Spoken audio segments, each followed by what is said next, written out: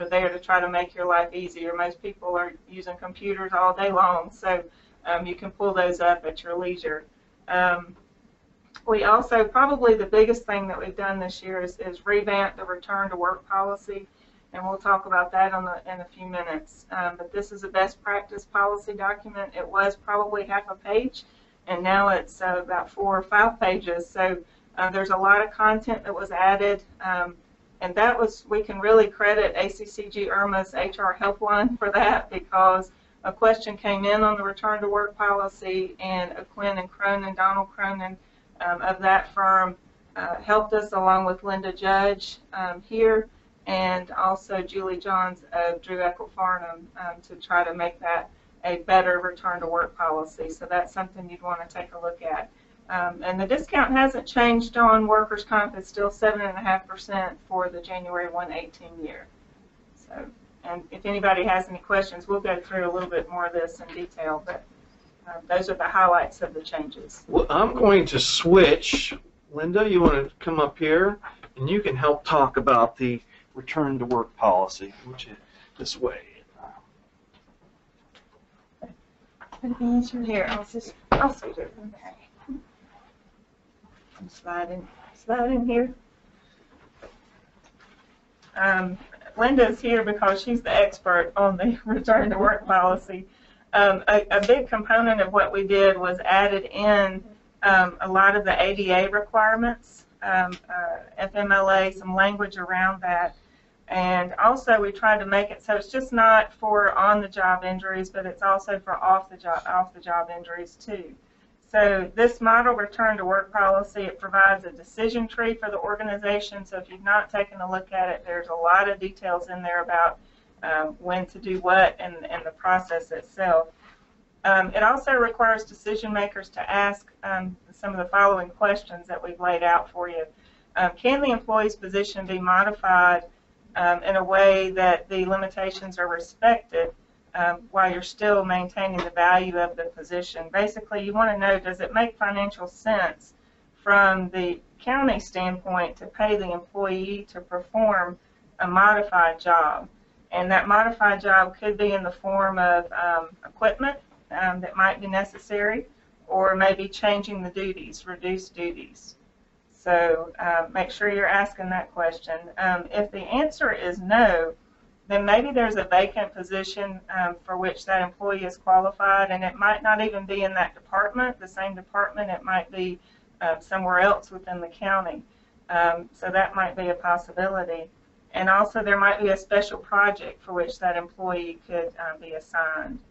And um, it also embraces the best practices, um, this new policy does.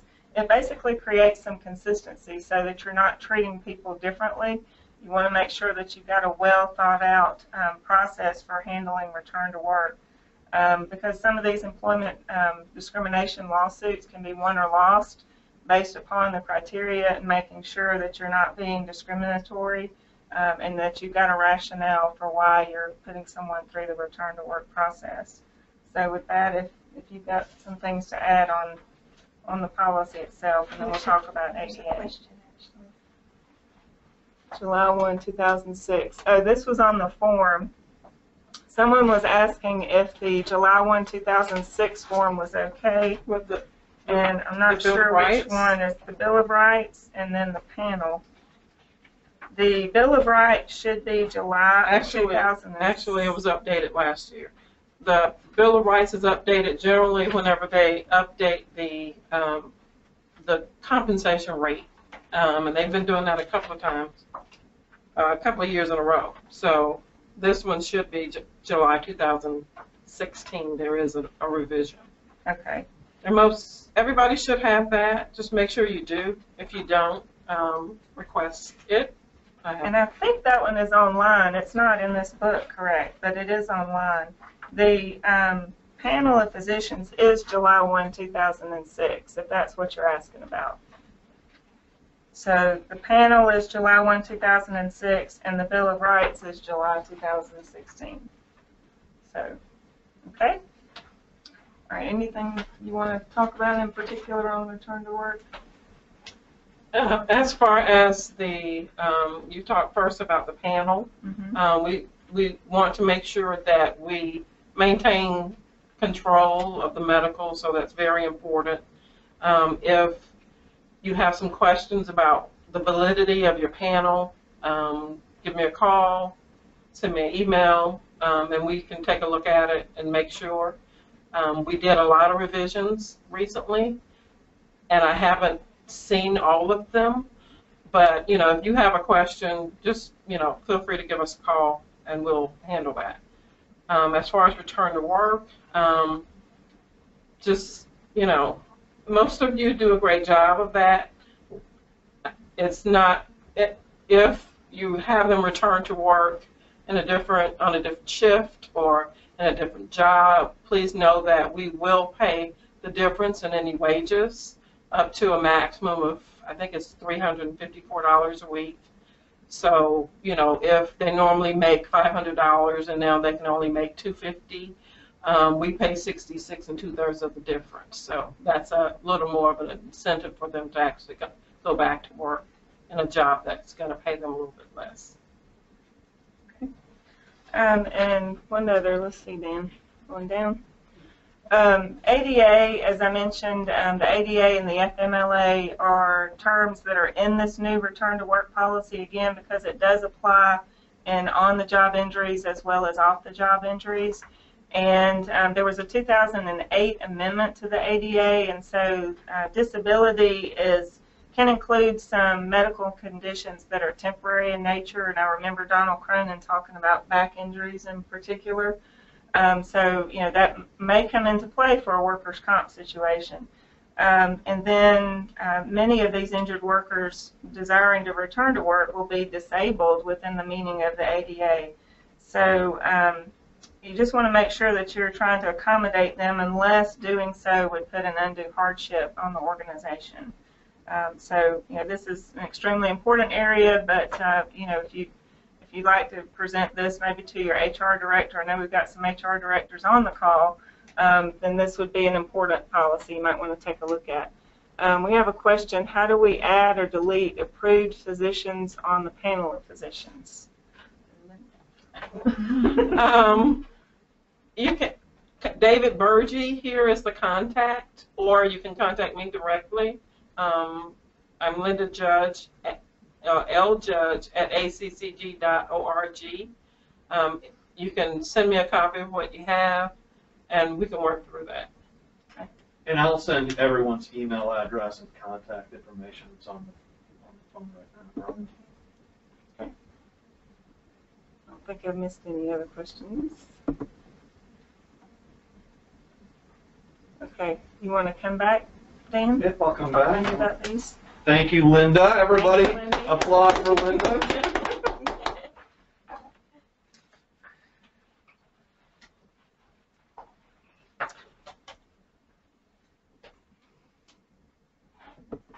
So as we went on, anybody have any que- other question? Thank you. Who is uh, Marie Tavern? Uh, We answered that. uh, that, so you, that was good. That was good to recognize that she's done that. So it's good. Very good. Just go through these and delete. So anybody else have any questions? I'm going to just reach out and see how you guys are doing out there. Appreciate ever there. Jane, Jane, are you're out there? Les, Lester, Last- Lessiter, Mhm. Jane. Hello? Hello, how are you? I'm good. How are you? Not too bad. Are are you uh, getting anything from the presentation thus far? Oh, yes, I am. Um, I have not done the updated return to work policy, and I'm thinking I probably need to do that really soon. Excellent, excellent. Any other questions? Not yet. Thank you But I'm going to ask if I do, believe me. Uh, Excellent. I'm glad to hear that. Thank you, Jane. Well, let's continue on. Uh, again, these are requirements for both uh, the work comp and the IRMA program. As the first bullet point is reps suggest a three ring binder. So all of our our reps that, that do this on a regular basis, it's Steve Shields and John McIntyre and Chris Ryan and Natalie Sellers, I'll say that the, you know when to make it smooth, go smoothly, is get a three-ring binder, and then based on all the questions, have it uh, the binder divided up on what the category is, and have the documentation ready for them. That's really what they're what they look at. They should be looking at some other things, but we're going to talk about that. It makes it easy to organize. Uh, you can do it in whatever way you want to do that uh, documentation, but that's what they're suggesting. Uh, the safety coordinator appointment, again, expected for everyone to have a safety coordinator appointed by uh, really the county uh, commissioners. And as again, you can see the county, there's a, uh, within the packet itself is a safety coordinator resolution uh, that uh, approval by the commissioners uh, there. It has some roles and responsibilities on there. And again, I think it's really up to the county as a whole. Uh, you can divide those roles and responsibilities up, whatever makes uh, more sense. If you want to have one person handle it or have multiple people, but having that safety coordinator have overall overall uh, oversight of that process. Okay.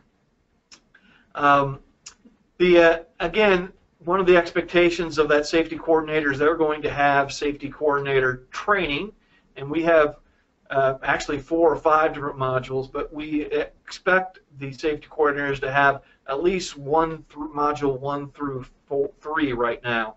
And the expectation is that if you haven't had those previously, you're going to take at least one a year until that expectation is completed. So, a pretty simple. You Uh, lost your sound.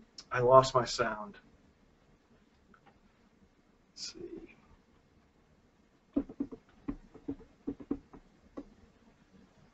Let's see. First of all, let's see. So can anybody raise your hand if you can hear me? So Holly Stevenson can. Looks like we got a lot of different people. Let me see. Uh, Bill Gay. Bill Gay, are you out there? Can you hear me? You're saying you can't hear me. Bill, raise your hand if you can hear me. It looks like you've lost your connection. We don't have any audio on you. So uh, you might want to check your connection. And let's continue on. Hopefully it'll pop in back for him. Uh, let's see. Cynthia had safety coordinator modules one, two, or three. Are they required each year? Okay, answered that. Thank you for your. And I still hear you. So I think that's good. Thank you for your questions and/or comments. Uh, the quarterly safety meetings. So the, the reps will be there. They'll be looking to see if you've had four distinct quarterly safety meetings. They'll look for dates. They'll look for topics. They'll look for attendees of those particular uh, meetings. But again, we I really hope you're not going through the motions in regards to this. This is a very valuable way to disseminate information. Make sure uh, I would love to see all your employees have some type of quarterly safety meeting where uh, people are, are uh, talking about specific topics that add value to their day-to-day work activity. Uh, make sure that uh, you're, you're documenting those, but utilize them not just to talk about maybe some training topics, talk about what's going on within your within your organization, incidents you've had, lessons learned, things that you've learned from outside the organization. Talk about webinars that we'll continue to have similar to this. Somebody had a question, Chrissy Hudson. If we already have one and three, would five or four be required this year? No, those are not required. If you've already taken one through three, you're not required to have any more than that. Although, if you can attend those, I do think they provide some level of value. What we're attempting to do is uh, it really up, right, uh, really increase the professionalism of some of the safety coordinators and get a little bit more higher level information. So if you have that ability to attend, I would suggest that you do that. Uh, coordinate safety training and implement safety uh, rules. Again, basic expectation is you need to make sure you're uh, near the job site that you're posting uh, what should happen in case of an on-the-job accident. Uh, but you know, making sure that people are trained, they have the appropriate training to do their particular job, making sure that there are rules out there specific to employees, that those are posted, that the employees review those, uh, that they're going through that. Uh, that's very, very critical to the risk reduction process. Coordinate safety inspections.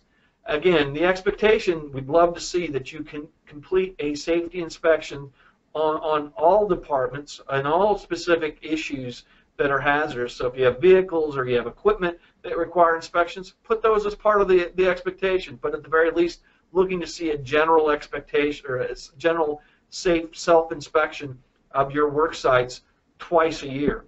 Uh, again, and also looking to see if you've not only identified things, but you've worked to follow up, follow up in regards to those identified issues for corrective action. So have you taken care of uh, those issues that are identified? Doing an inspection without doing corrective action really doesn't provide a lot of value to uh, to these organizations. And and, and, and, and in private industry, if you did that, if OSHA were to walk in, that would be proof that you have a, a deficiency in your process. And, and lastly, and again on this page, we want to make sure you're reviewing all of your incidents and or accidents. So if you have a workers' compensation claim or a property liability claim, want to see some oversight of that process. What was the root cause of those particular incidents?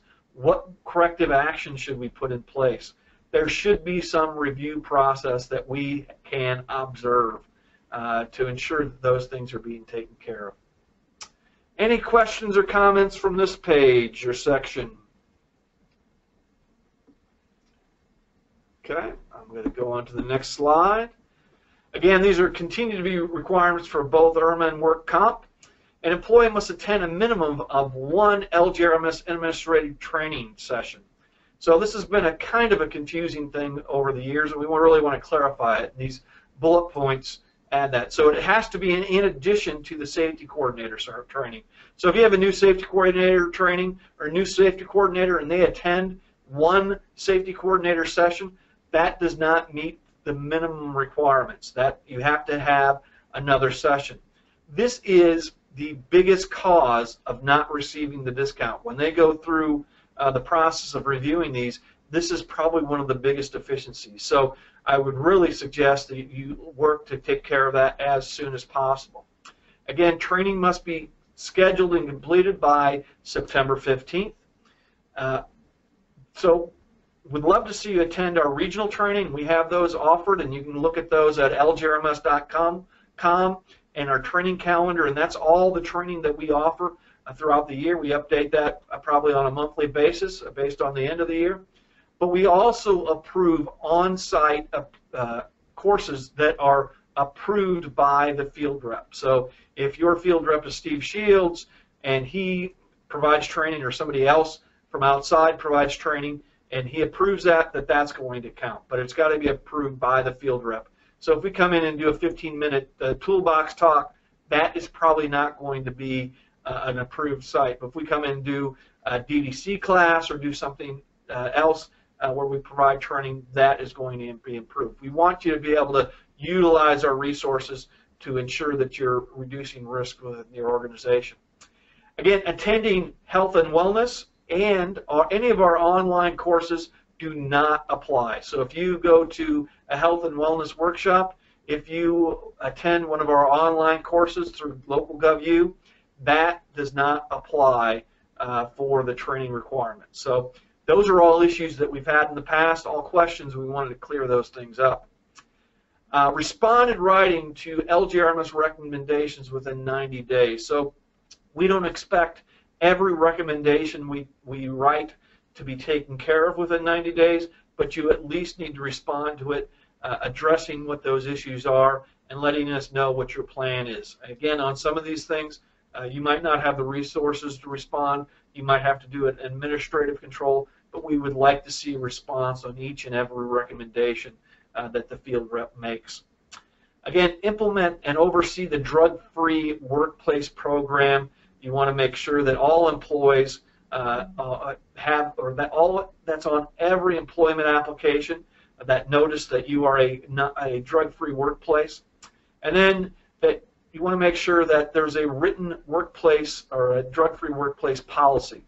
Uh, and again, we have a model program or model policy in the Appendix B of this particular handout. And then lastly, the seatbelt policy. Again, I can help provide those. We have available seatbelt policies also. But having a policy alone is really not the important thing. This is a thing where you are actually saving lives and livelihoods of your employees. And having a policy doesn't necessarily do everything you need. You need to one communicate that policy, make sure employees know what the expectation. You need to train employees. Now, telling people that they have to wear their seatbelts is not considered training, or at least not quality training. Bringing people in, and again, this is not necessarily where, to look at, but I would just highly suggest bring people in, talk about the importance of your seatbelt policy, reiterate the importance of that seatbelt policy, talk about the value to your organization and the value to your employees, talk about the consequences of failing to follow the seatbelt policy.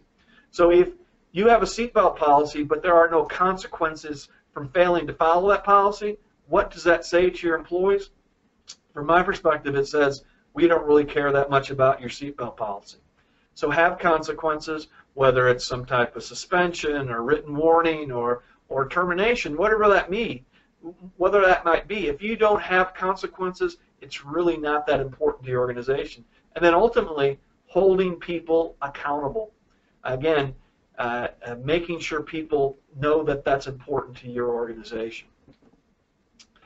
So we're going to talk about property and liability expectations and the discounts associated with that. Before we get into that, I really wanted to talk about where your losses are within property and liability over the last three years. So these numbers match up with the numbers on the first slide that I had.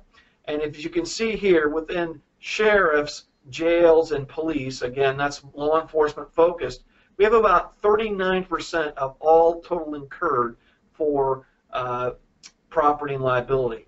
Uh, almost 22, uh, 21 million dollars associated with that, 22 million dollars. Uh, roads, public works, all kind of combined together, looking at about 14% uh, of uh, total incurred, uh, and uh, you're looking at uh, somewhere around $8 million. Then fire and EMS, you're looking at about, I'm having a hard time reading the slide, but about 10% of total incurred, about $6 million. So this is where our issues are, and, and historically speaking, I think we've done a pretty good job on some aspects, some departments, and I think some departments we have the opportunity. And again, I would say that was within law enforcement. If you look at category, law, uh, property liabilities by category, motor vehicles are our biggest opportunities, whether it's claims within our law enforcement groups or throughout the county. We have about 37% of all of our property liability claims are related to motor vehicle claims. About $21 million of that $56 million total incurred costs. Uh, property, again, don't have a lot of control of that unless you have the ability to control the weather. A lot of our claims, although one big chunk of that is related to fire, uh, which we're doing some things on. And then it's law enforcement liability, and that's 17% of total incurred at about $10 million. Down the list, you have HR, human resources. This is discrimination, uh, EEOC claims, hiring, firing, harassment claims. About 3% of the, of the total incurred at about $2 million. And then roads liability, again, 3%, about $2 million. Historically speaking, and again, Ashley can probably talk more to this than I can, but I think those numbers have been higher. But because we focused on both HR and on roads and streets, I think we've been able to reduce those numbers. And again, so it just shows you the work that you've been doing has some impact in regards to this. Ashley, got any comments on that? Um, I would agree with you. I think a lot of the training that LGRMS has put on and the work that you guys are doing to try to minimize your auto accidents, has had a huge impact. I would also tell you maybe some of that is due to the fact that we have had some counties in the past by higher limits for motor vehicles, and they have reduced um, their their limits on the motor vehicle. The minimum requirement is less than a million dollars, so I think that also has helped reduce some of the payouts on vehicle accidents. If you look at requirements for just the, the property and liability or IRMA discount, again, MVRs for all employees that drive county vehicles or members' vehicles, that's very, very important. Uh, and we'll look at that. We'll do a random check to make sure that you're doing that. Uh, personnel policies, I'm not going to go through these. This is we've done this for several years, uh, and they're fairly self-known. You have uh, again hiring, firing the motor vehicle. motor vehicle should really cover what do you do, you know, what what's your measure of success? What are you doing for maintenance of your vehicles? Uh, how do you inspect your vehicles? Uh, what do you do after an incident with a motor vehicle? What do you do for training for employees? What do you do for D, uh, MVR checks? Things to that effect. That's what a motor vehicle policy is going to contain. This is where we had some new policies last year, and this is within the sheriff's uh, policy manual and the jail. These are two issues or items that I was told last year we have some opportunity with.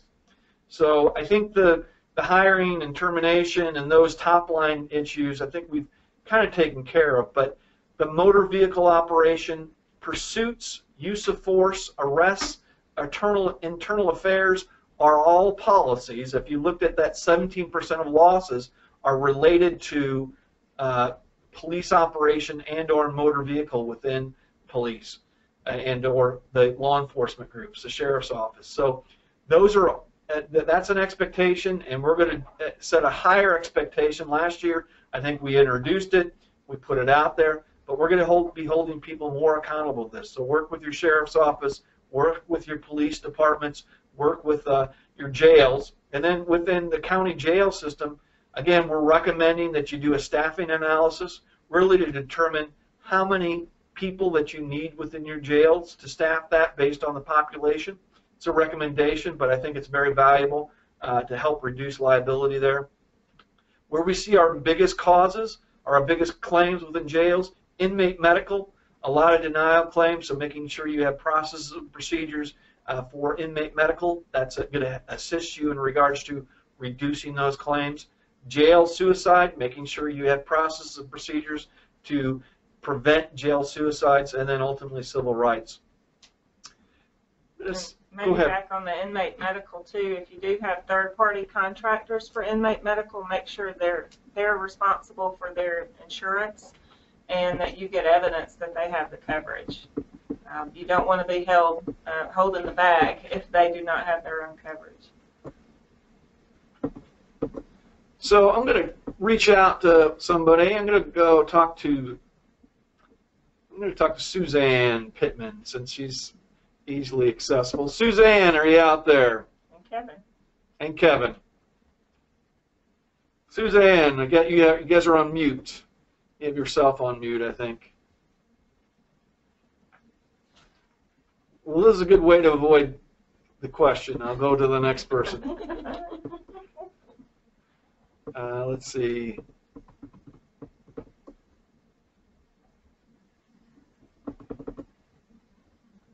what about Pamela?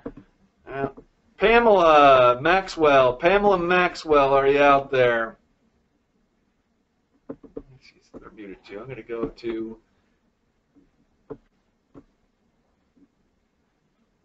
Linda Woodson. Linda Woodson, are you out there? Linda. Well, uh, either we're having phone difficulties or people are sleeping. I'm not sure which one that is. I, I'm going to say it's phone difficulties. I'm going to go to Kim Strickland. Kim Strickland, are you out there? Kim, can you hear me? okay. Kim, are you out there? Now, this is not working well. One more try. Oh, I don't have my mic on. Sorry. Okay, Kim. That's a good. That's a good. Good comment. Thank you. You are off the. I'll Go Joyce Norris. Joyce Norris, are you out there? I am. How are you today, Joyce? I'm good. Where are you calling from? Washington County. How are things in Washington? It's there, Washington County, Sandersville. It's it's a beautiful day. Very, very, very good. Very good, Joyce. Any questions? Anything uh, we haven't provided clarity on that you want to know more about? No, but I do have a comment. Um, this just came out this week, the personnel liability seminars, and they're going to go over that new return to work policy at that seminar. So Correct. people people might be interested in attending to hear that. Great, Thank you, Joy. Joyce. That is so fantastic. Where can I send? Thank you, Noy Joyce. That's great. Uh, you're absolutely right. So the personnel li- personnel liability, all fantastic information.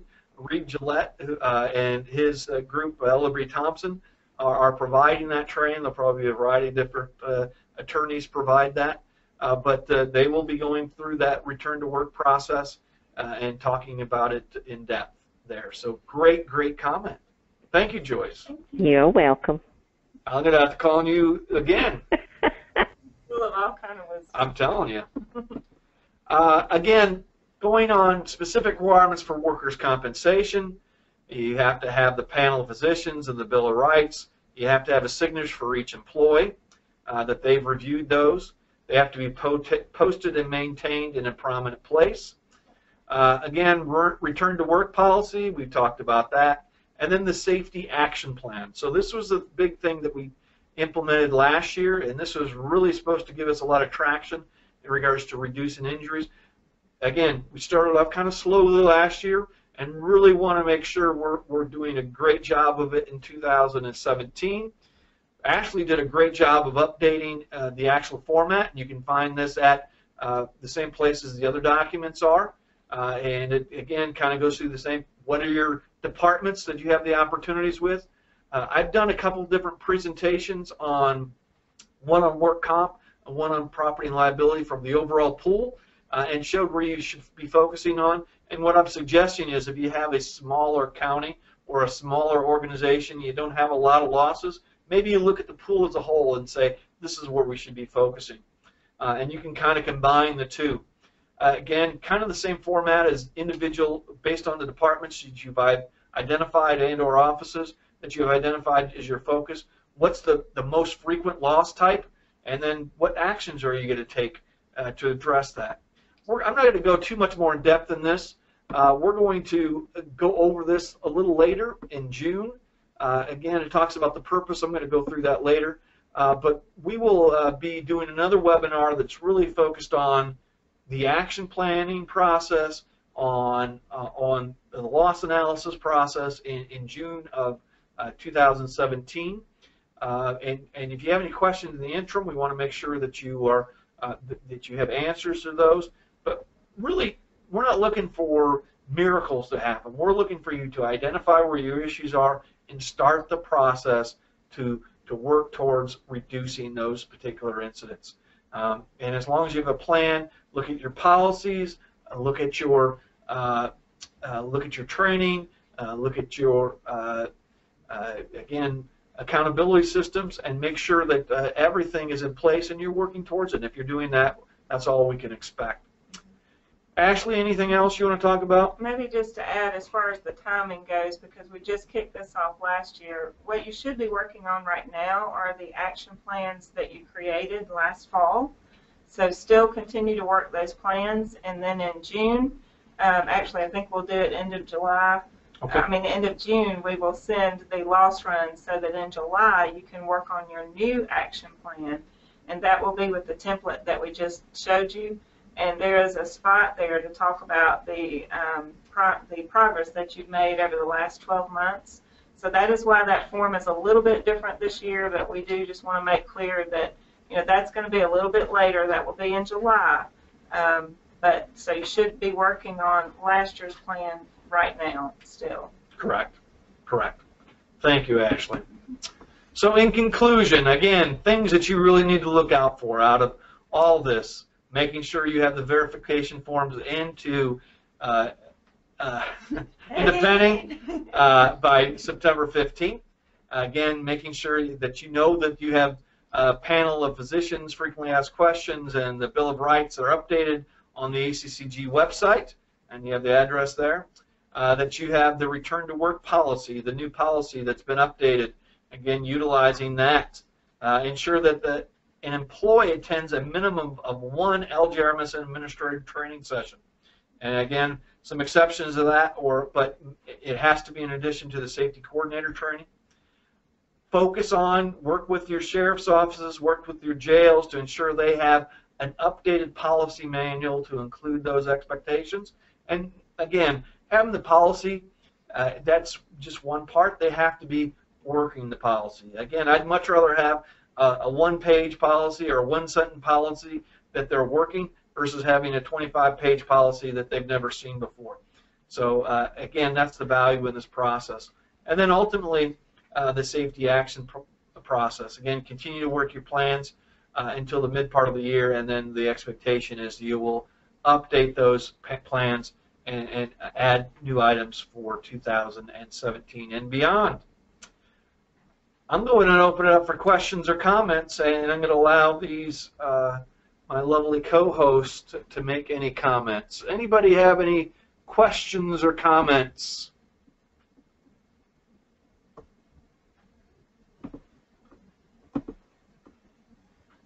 Everybody's all clear. Uh, not sure.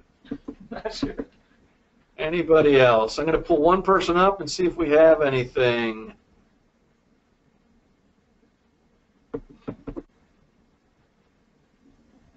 Stephanie Walker, are you out there? Did you say Stephanie Walker? Hey, Stephanie. Uh, how are you? Anything else? Have questions from us? No, sir, I don't have any. Thanks. I'm going to put you on hold again. So, Ashley, anything in addition you want to, uh, to ask or talk about before we go?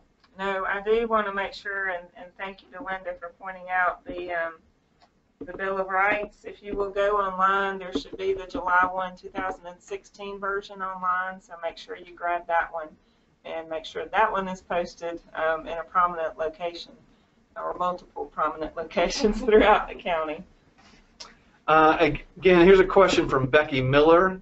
Uh, it says, I just finished uh, taking the third part of the safety coordinator class, and which one should I take next? Uh, uh, work at a library. So again, I'm not sure how many co- other courses that you've taken, Stephanie. Uh, I, again, one, two, three, I would take first, and then uh, when we offer four and or five, I would, you know, again, they don't necessarily have to go in sequence. It's really about you. The safety coordinator one is probably the best one to take. It's an overview of everything uh, that we have, but the the ones after that you can uh, you can take at any time. Becky Miller, just workers' compensation class. Not sure. That was related to your Okay. question, our question. Okay. Let's see if I can find Stephanie. Uh, Penny, anything you want to talk about? Yes, I would like to talk about the safety verification form. There seems to be some confusion, I don't know if you can see this, but if you belong to the IRMA program or to the workers' comp program and you are a county, those are the two forms that you would fill out and send to us. What page is that on, Penny? That is on page 18 18 and and 19. 19. However, if you are an authority, that is the water and sewer authorities, developmental authorities, libraries. All you have to do, and you belong to the workers' comp program, then you just fill out that particular form on page 21. If you are an IRMA member and you are an authority, you do not need to worry about filling out any forms because this doesn't apply to you. Very good. You only need to fill out one form per program. Excellent, excellent. Thank you so much, Penny. Thank you. Linda, anything else you'd like to add? Um, as far as return to work, I'd just like to say that, um, you know, you, as an employer, need to look across department lines when you're looking for light duty work for the employees. Um, make a list of projects or little tasks that people can do um, that perhaps that department may be short-staffed and they can't get to just have a bank of items that can be done and just open up the department lines and go back and forth. Very good. Thank you very much, Linda. Thank you, everyone out there. I'm going. Here's what's going to happen. I'm going to close it out today.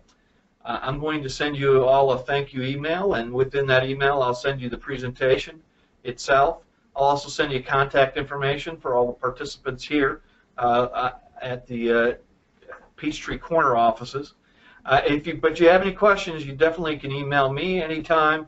Uh, you can uh, give me a call and be more than happy to help you out in, in whatever ways we can. So thank you so much. Enjoy the beautiful day in Georgia. Thank God we are live in Georgia uh, versus other parts of the world and country.